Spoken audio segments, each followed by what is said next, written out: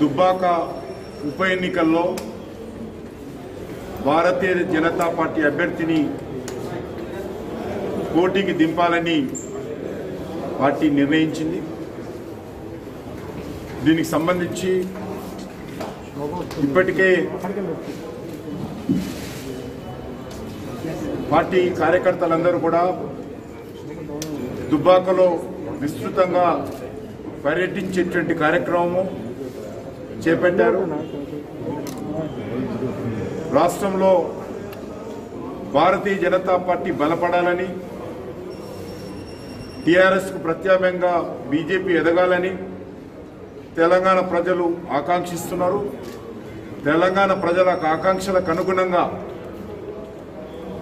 Bharatiya Janata party నన్ను రానున్న రోజుల్లో ఆ రకమైనటువంటి కార్యాచరణ ప్రణాళిక రూపొందించుకోవాలని దానికి వేదికగా దుబ్బాక ఎన్నికలు ప్రాతిపాదిక తీసుకొని ముందుకెళ్తాము.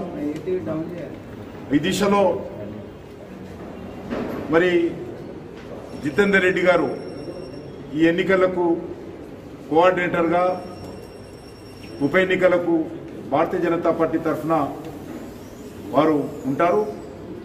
వారికి అనుకూలంగా అనేక మంది మాజీ మంత్రులు మాజీ పార్లమెంట్ సభ్యులు మాజీ శాసనసభ్యులు అందరూ కూడా వారికి అనుకూలంగా వివిధ మండలాల వారిగా పనిచేయాలని నిర్ణయించాము. మిగతా అభ్యర్థి ఒకసారి కేంద్ర పార్టీ క్లియరెన్స్ ఇచ్చిన తర్వాత అభ్యర్థి ప్రకటన తర్వాత మరింతగా కూర్చొని ఈ యొక్క ఎన్నికలకు సంబంధించినటువంటి పూర్తి స్థాయిలో మరి ఎన్నికల ప్రచార కార్యాచరణ రూపకల్పన చేయాలని నిర్ణయమైంది.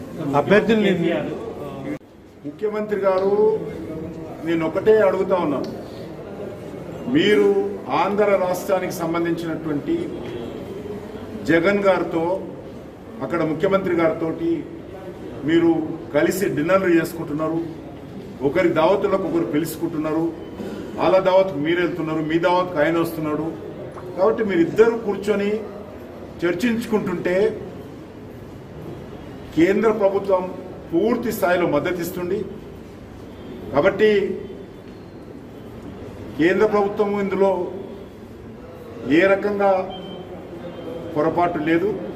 రెండు రాష్ట్ర ప్రభుత్వాలు కలిసి అంగీకరించుకొని చర్చించుకున్నట్లయితే ఎందుకంటే ఉదాహరణకు మా రాష్ట్ర ప్రభుత్వము తెలంగాణ ప్రభుత్వం ఒప్పందం చేసుకుంది మేము అంగీకరించాము. ఎక్కడ కూడా మేము ఆ రోజు అడ్డుపడలేదు. ఈరోజు కూడా చెప్తా ఉన్నాం. తెలంగాణ ప్రభుత్వం కానీ ఆంధ్ర ప్రభుత్వం కానీ కలిసి చర్చించుకొని ఎవరికి రావాల్సినటువంటి హక్కుల మేరకు ఎవరికి రావాల్సినటువంటి వాటాల మేరకు నీటి పంపిణీకి ఒప్పందం కుదుర్చుకోండి. కేంద్ర ప్రభుత్వం మధ్యవర్తిత్వం చేయడానికి సిద్ధంగా ఉంది. ఆ దిశలోనే గత అఫెక్స్ బాడీ మీటింగ్ పెడితే వాయిదా వేయించారు. కాబట్టి ఈ ప్రభుత్వము నేను ఇప్పటికీ మనవి చేస్తాను. తెలంగాణలో ఉన్నటువంటి అన్ని రాజకీయ పార్టీలతో ఈరోజు టీఆర్ఎస్ పార్టీ మాట్లాడాలి.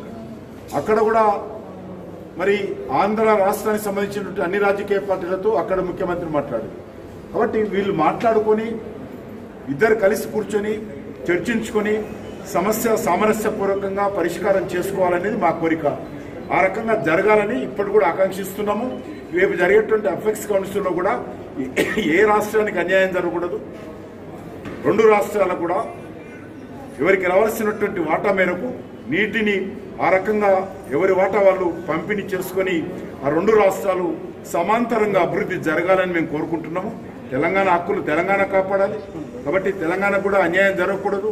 తెలంగాణకు గత అనేక రోజులుగా కాంగ్రెస్ హయాంలో కానీ లేకపోతే గతంలో టీడీపీ హయాంలో కానీ తెలంగాణ ప్రాంతానికి అన్యాయం జరిగిందనేటువంటి భావన అందరికీ తెలుసు. కాబట్టి రెండు రాష్ట్రాలు కూడా ఇప్పటికైనా ఏ రకమైనటువంటి వివక్ష లేకుండా చర్చించుకోవాలని మా కోరిక.